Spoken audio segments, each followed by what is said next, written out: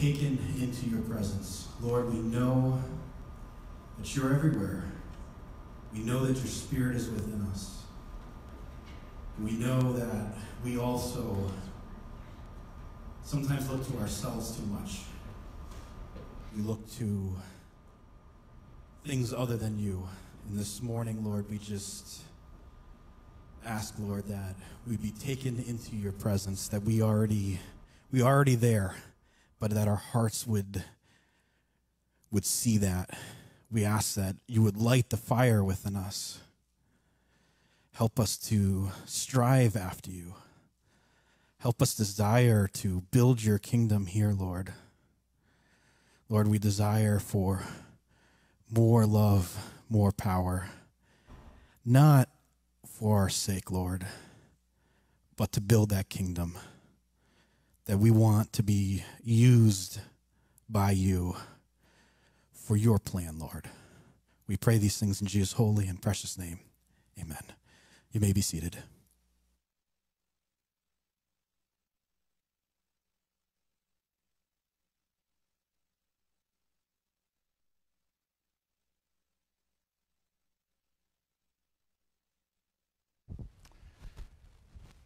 Thanks, worship team. Forgot to mention earlier that the uh, annual meeting will be here in this room. It will not be on video, so it won't be in the gym, it won't be online. So I en- encourage you to be present here in the uh, sanctuary for the meeting next week. Let's pray together as we come to God's Word this morning.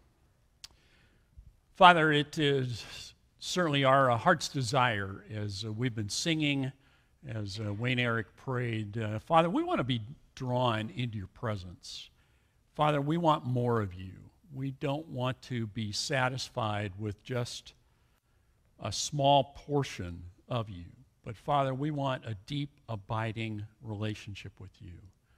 And Father, I pray that you would cause us to hunger and to thirst for you, that you would cause us to hunger and thirst for righteousness. Father, that we would not settle for second best, that we wouldn't settle for other substitutes, but that we would be passionately devoted to you. And Father, we thank you for who you are, for how you have demonstrated your power in our lives, how you demonstrate your grace, how you pour that out to us abundantly, how you meet us right where we are and how you provide the encouragement and the strength and the hope and the healing and whatever it is that we lack, how you, you provide that abundantly. And Father, we uh, pray that you would continue to do that. Father, just as you have done, that you would continue to do that, that we would not lack any good thing, but that we would see that all good gifts come from you.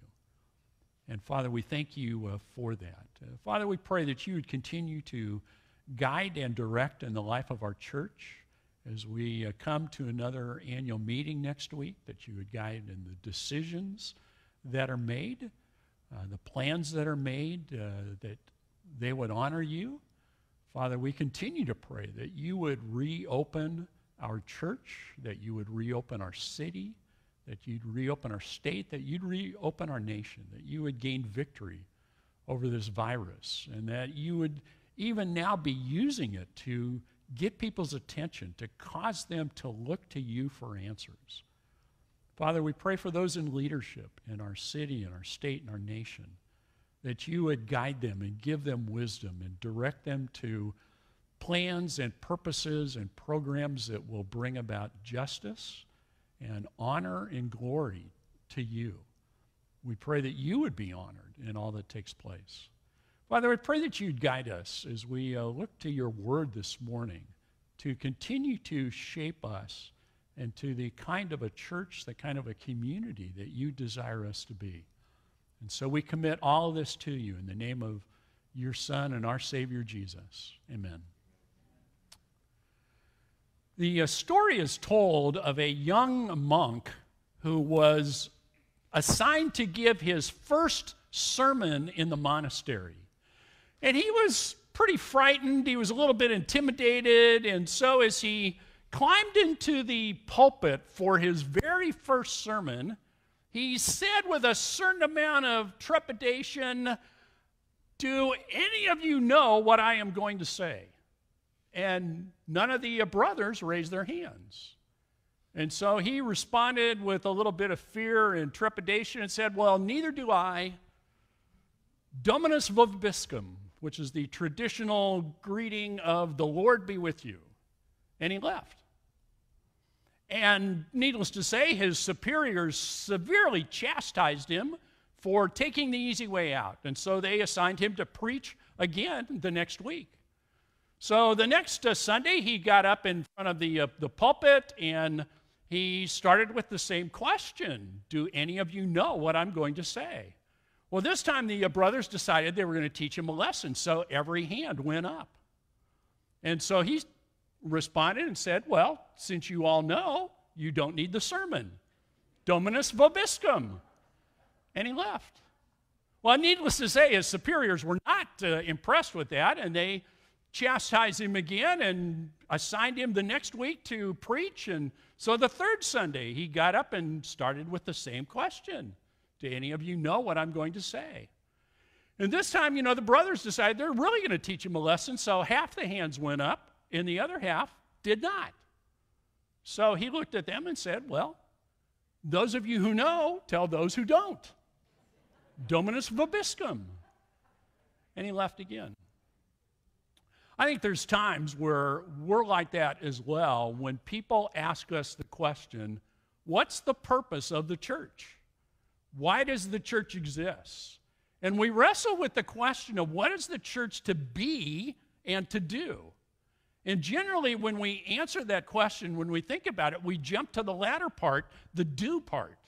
And we talk about, well, you know, a church needs to have certain programs. You know, you've got to have a Sunday school program, you have to have a, you know, something for children, you need a choir, you need, uh, you know, this program and maybe a, a sports program. And, and we jump into the, the doing part and all the programs that we think a church needs to have. But we wrestle with what's the church to be? What kind of a church should we be? What's the purpose of the church? What is it that should characterize our ministry as a church? Well, what we're going to see this morning and the passage we're going to look at is that the church is to be a caring community. It's to be a community that's made up of a family of families. Some families are single, some are couples, some have kids, some don't have kids. But it's a family of families that has certain core values. They're passionate about the scriptures, about God's word. They're passionate about fellowship, about worship, about prayer. And they make an impact in the community because outreach is just a natural byproduct of what they do. It's not a program that they do, but it's a natural byproduct because as they make an impact, the surrounding community is curious about what makes you different. What we're going to see is that the church is to be a caring community, passionate about God's word, about fellowship, about worship, about prayer.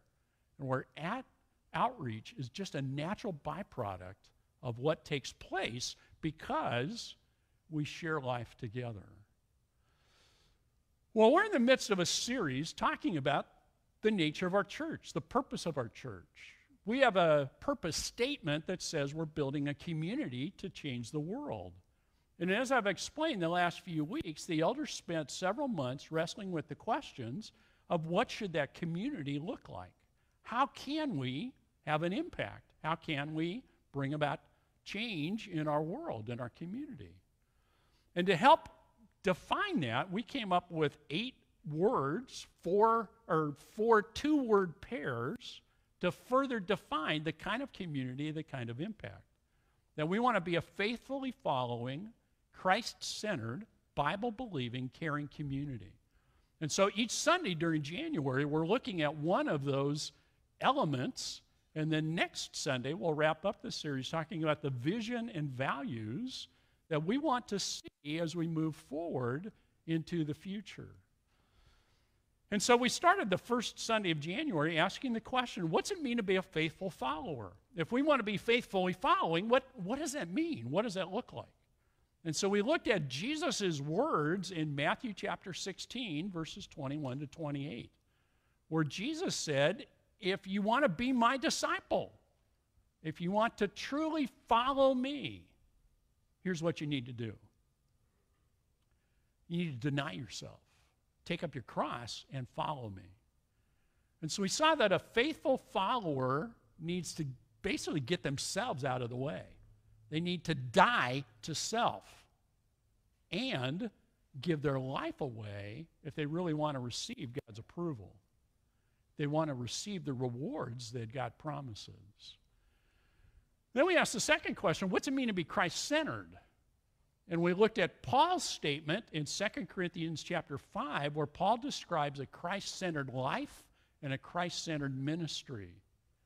And where Paul presents the idea that a Christ centered life is centered on salvation, Christ died for us. But not only is that a statement of what he did for us, but it's the motivating factor of why we should move forward. That because he died for us, we want to live for him. And one of the ways we live for him is by sharing the gospel because he has appointed us as his ambassadors here on the planet. And the way that we bring about change in our world is one heart at a time. It's not through programs, it's not through social endeavors, but it's through sharing the good news of the gospel and allowing God to transform people. Well, last week we asked the question what's it mean to be Bible believing? We have Bible in our name as a church, but what does it mean to truly believe the Bible? And so we looked at 2 Timothy chapter 3 verses 16 and 17, probably the key passage in scripture about scripture. And what we discovered is that the Bible is given by God, it's inspired by God, and it's given for the purpose of transformation. It's not given to make us smarter sinners, but it's to change our lives. And Scripture is given to change us, to transform us. So today we're asking the question about that fourth element the what's it mean to be a caring community? And as I said, what we're going to discover in the passage we're going to look at this morning is that a caring community is a family of families that's passionate about God's Word, about fellowship, about worship, about prayer, and where outreach is a natural byproduct of sharing life together. So turn with me, if you would, to the book of Acts. We're going to look at Acts chapter 2, the uh, last paragraph in that chapter, verses 42 to uh, 47, that describes the early church in Jerusalem after the day of Pentecost, after the Spirit comes and what takes place and how this community of faith begins to come together and what they are like. Because it provides a model for what a caring community looks like. So, Acts chapter 2, beginning in uh, verse 42. And they, the early church, the early believers, devoted themselves to the apostles' teaching and to fellowship, to the breaking of bread and the prayers and awe came upon every soul, and many wonders and signs were being done through the apostles. And all who believed were together and had all things in common. And they were selling their possessions and belongings and distributing the proceeds to all as any had need. And day by day, attending the temple together and breaking bread in their homes, they received their food with glad and generous hearts praising God and having favor with all the people.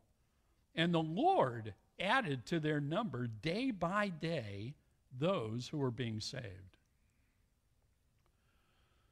What we're going to see in this passage is that a caring community has four commitments and they have four practices, four core values, if you will, and four things that they do. The four commitments, the four core values, is that they are committed to the scriptures. They're committed to fellowship, to the Lord's table, and to prayer. Those are the things that characterize everything they do. They're not programs, but they're commitments, they're, they're core values. And then there's four practices. They practice inspiring worship, sensitive generosity, mutual ministry, and outreach. Four things that characterize everything they do, and then four things that they practice, four things that they do. And we're going to see that these are the, the characteristics of a caring community. If we want to be a caring community, these are things that we need to be committed to. These are things that we need to do, that we need to practice. The first thing you see is it says that they were devoted, they were passionately devoted.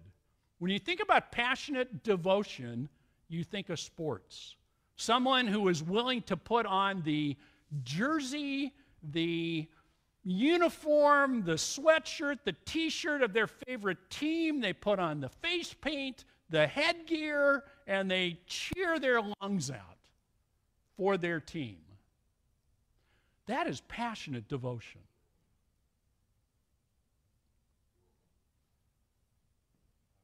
However, many of us, our devotion is a little bit like the dog Dug in the movie Up. That Dug was passionately committed, and then squirrel, and he chases after that. And that's the reality. Many of us, that's our devotion. We're devoted to Jesus. And then we chase after work, or we chase after leisure activities. We chase after this problem or that problem. And we need to get back to the idea of truly being focused on what is most important. It's very easy for us as individuals, it's very easy for us as a church to get busy doing good things, but not focused on what's most important. And a caring community is passionately devoted to four key things. The first is they're passionately devoted to the scriptures. They're passionately devoted to God's word. These new believers, they were passionately devoted to the apostles' teaching. They could not get enough of what the scripture said. And it talks about that they met in the, in the uh, temple, they met house to house, they spent time together studying what does God's what is God saying to us? If I followed you for a week, could I find what you are passionately devoted to? See, the reality is some people are they're passionately devoted to video games because that's where they spend the bulk of their time. Some people are passionately devoted to sports, and they can quote the uh, batting average of the third baseman for the 69 Mets and what took place on this day in sports history. Some people are passionately devoted to keeping up with the latest gossip and what's going on and, and who's doing what. Some are passionately devoted to movies, and they know movie dialogue better than they perhaps know the scriptures. Some people are passionately devoted to music, and they know every lyric of every song in the top 40. But to be a caring community, we need to be passionately devoted to God's Word. And again, this is not a program. This is not saying that we have to have Sunday school, that we have to have Bible studies. Those are tools, they're means to an end. But it's the idea that we need to be passionately committed to studying, to reading, to really truly knowing God's Word. And that is where you need to make time for that. You need to make time for personal reading and study. Maybe you get uh, you know a series of the scriptures on CD and you plug it into your car while you're driving or while you're walking. You you listen to it. You get into a Sunday school class or small group Bible study, or you listen to sermons or podcasts. to know what does Scripture say. And so, again, it's the idea of it's a commitment. And there are tools like Sunday school and other things that help you to do that. But it's a passionate devotion to truly understanding what Scripture says to center your life on that. In addition to passionately devoted to God's Word, they're passionately devoted to fellowship. And what's interesting here is, depending on your translation, it doesn't say they were devoted to fellowship. They're devoted to the fellowship. There's a very specific, distinctive element to it. See, we have the idea that fellowship is coffee and donuts in the church basement. That, yeah, food plays a, a role in fellowship, certainly, but fellowship is not the fellowship hour between Sunday school and church. Fellowship is not a potluck dinner. See, fellowship is not a program. Fellowship is the idea of sharing life together. And you see that word repeated through this section together, together, together. They had things in common, they shared. One of the things that hinders fellowship is individuality, especially here in the West, because we have the idea that I have a personal relationship with God and I don't need you. I just need my Bible and time with God. I don't need a church. I don't need a small group. I don't need people. And as a result, people float in and out of churches and never connect because they're not truly committed to the fellowship. What we have to understand is that fellowship is not an activity, it is not a program, it is not a potluck dinner. Those things help, yes, but that is not fellowship. See, the best fellowship is a byproduct that comes from studying together, praying together, serving together, sharing life together. The best fellowship comes from a commitment to be together, especially in serving and praying and studying, not just in kibitzing, not just in talking. The best fellowship is a byproduct.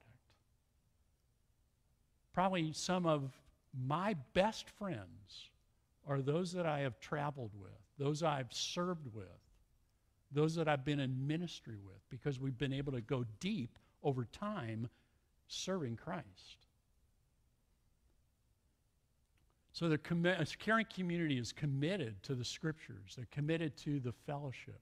They're also committed to the Lord's table, to the breaking of bread, which I think refers to this element of communion, the Lord's table. But it's much more than just saying, okay, if we're going to be committed to the Lord, to the breaking of bread, we have to have communion once a month or once a week, depending on your tradition and your church you're in. I think it's much more than that because what it is when you really study what communion is all about, it's about sharing the message of the gospel. As Jesus said, every time you break bread, you tell the message until I come. And so being committed to the breaking of bread is really being committed to once again telling the message that Jesus Christ died for our sins and we can be forgiven. Penalty is paid in full and that we're forgiven. A commitment to the breaking of bread means that we become a fellowship characterized by grace, by sharing the message of grace, but also by showing grace forgiving others in the same way that we've been forgiven. So it's much more than just having, you know, crackers and grape juice once a month. It's an attitude of forgiveness and grace that we share that message with other people. caring community is passionately devoted to the scriptures, to fellowship, to the Lord's table, and to prayer. And again, it doesn't mean that it's a program. It doesn't mean you have to have a Wednesday night prayer meeting to be committed to prayer. What it means is that you start, you end, you bathe everything in prayer, not just meet once a week for it. And again, what gets in the way of this is individuality. Saying that I'm not going to tell you what my prayer requests are. I've just has an, an unspoken request, which being translated means I'm going to carry my burdens myself. Thank you very much. Because I am independent and I am strong and I'm not going to tell you. To be committed to prayer, we need times of both personal prayer and corporate prayer. Personal prayer, where we share our needs with other people and ask them to pray for us, but also times where we ask others, How can I pray for you? And then truly pray rather than say, Hey, I'll pray for you.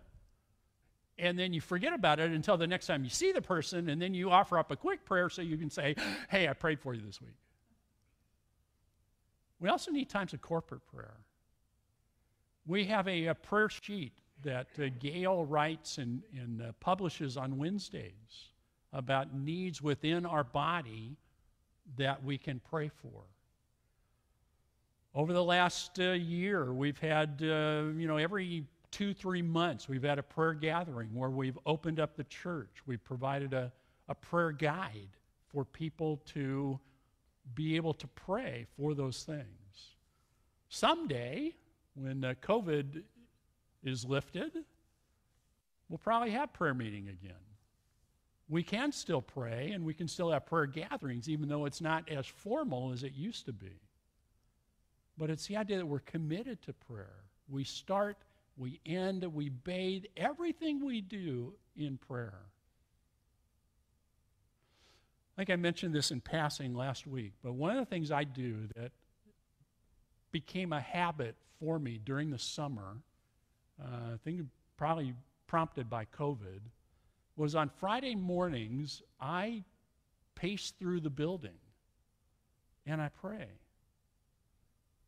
I pray for each one of you that are going to be seated in these chairs. I, I pray for the sound system and the technology. I pray that the church and the hallways and the classrooms will once again be filled with people. That we will be a lighthouse in this community. And that, like I say, that's the one of the things that, uh, that I started doing on Friday morning. Nobody's here except me. I've got my parka and my hat on as I'm walking through the sanctuary because it's freezing in here on Fridays, believe me. But it's one of the things that, that I do, and I've, it's become a practice because it's become a conviction. I realize how much we need God to work. And that's how I demonstrate my, my uh, commitment to prayer. See, caring community has four core values, four key commitments, not programs, but commitments, values. They're committed to the scriptures, they're committed to the fellowship, being together. They're committed to grace in the Lord's table, and they're committed to prayer. They also have four practices and again, not so much programs, but things they, they do. They're expressed in programs, yes, but four practices. They practice inspiring worship, sensitive generosity, mutual ministry, and you see that church was never intended to be boring. And I think there, there's times where, because of past experiences, there's times where we come to church expecting to be bored. And we allow ourselves to be distracted by our phones, by other things, by staying up too late on Saturday night and not coming rested and ready to worship. And one of the things we need to do, I think, is to recapture a sense of awe and wonder at what God is doing in our midst. And I think part of the answer to that is we need to take ourselves out of the picture. For far too often, we make worship about me. And I'm convinced, and I've said this before, that we ask the wrong questions about worship. We focus on how many people were present, what was the attendance like, what were the numbers, who was there. You know what the real question is? The real question is was God here? Was God present? See, far too often we ask the question Did I like the music?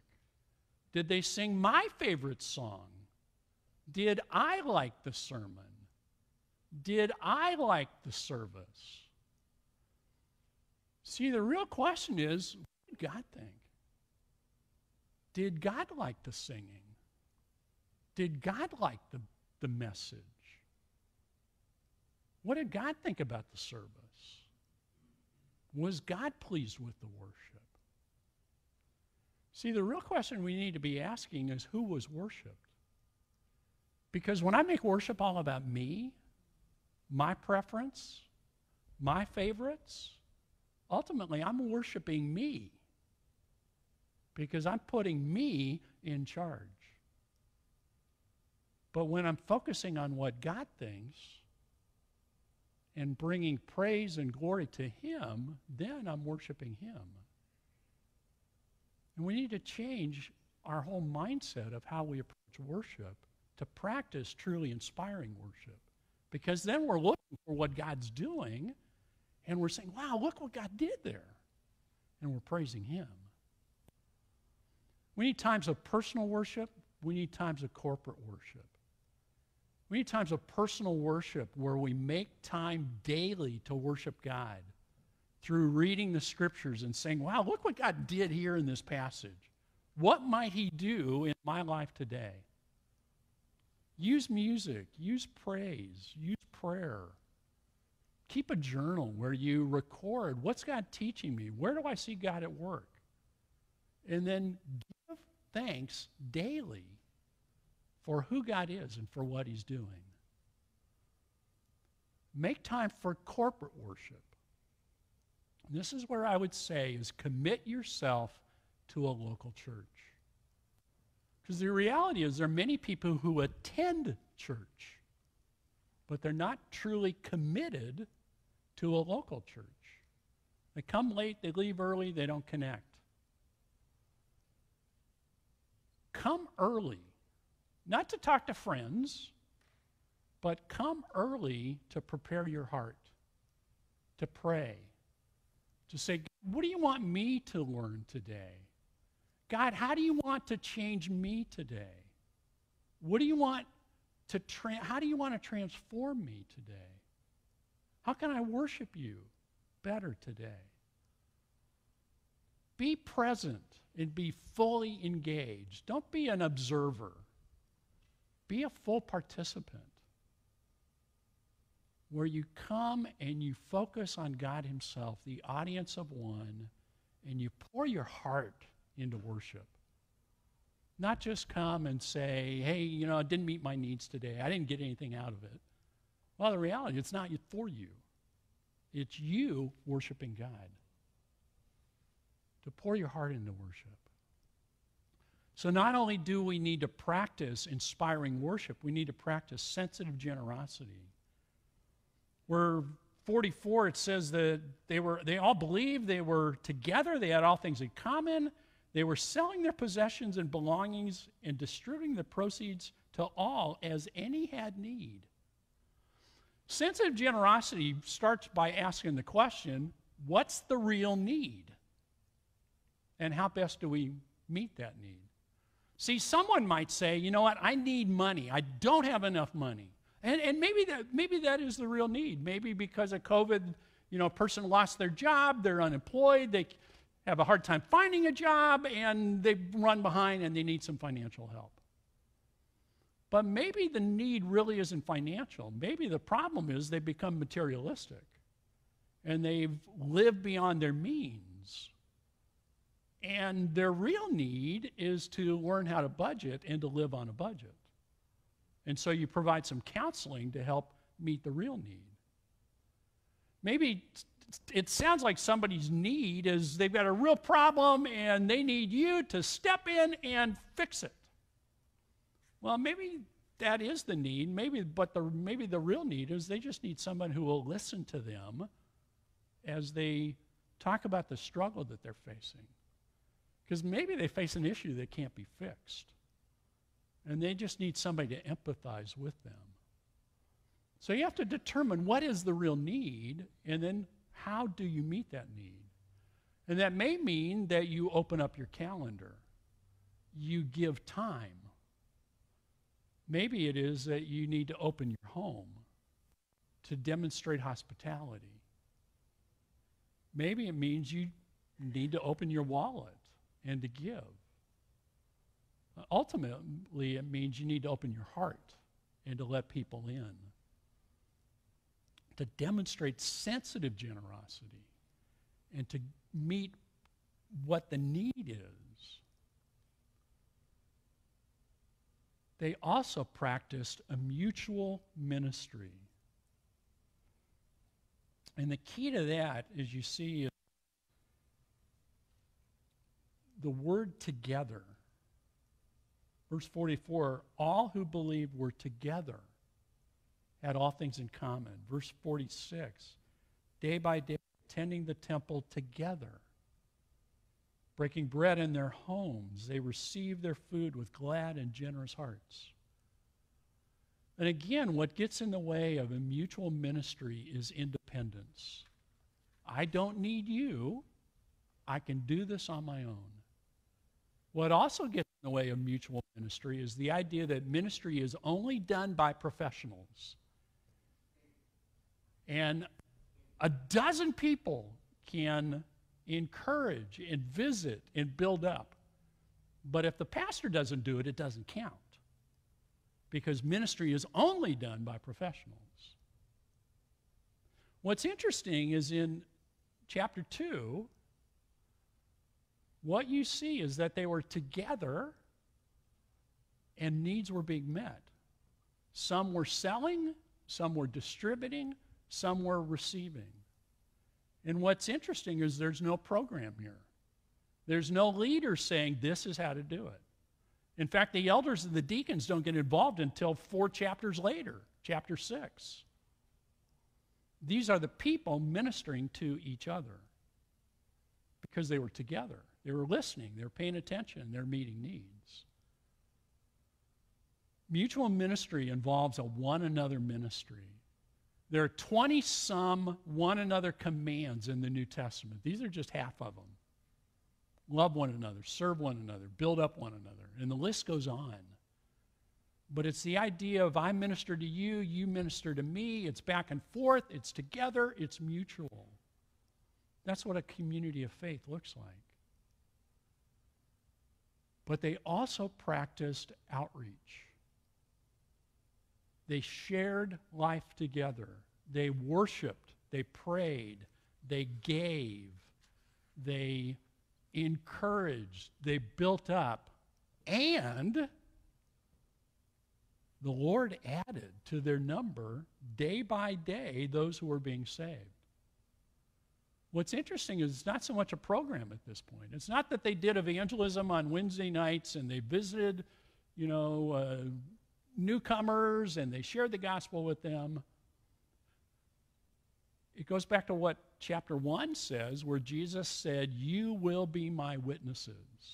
And what's interesting in Acts 1 8 is that is not a command, it's a statement. You will be witnesses. The question is, are you a good one or a bad one? But these folks were witnesses. They were sharing, they were ministering, they were encouraging. And as a result of that, people came to faith. Because what you discover is that a caring community is attractive to a watching world. There's a world outside these four walls that is going to hell without Jesus Christ, that desperately needs hope. And when we live as a caring community to teach and encourage and to build up and to share, people get curious about why do you do what you do? Why do you have hope when everybody else is panicking? Why aren't you worried? And people want to know the answers, and we have it. And we can share with them about the hope that we have. We desire to be a caring community.